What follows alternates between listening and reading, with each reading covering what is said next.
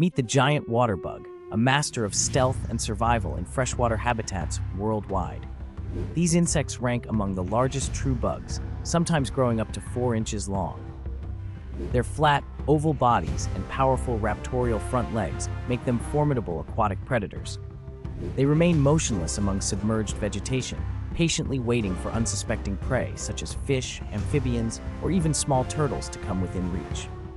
With lightning speed, they seize their target, injecting digestive enzymes that liquefy the insides, which they then consume.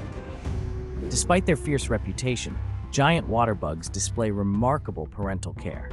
In certain species, males carry fertilized eggs on their backs, tirelessly protecting them from predators and keeping them moist until they hatch.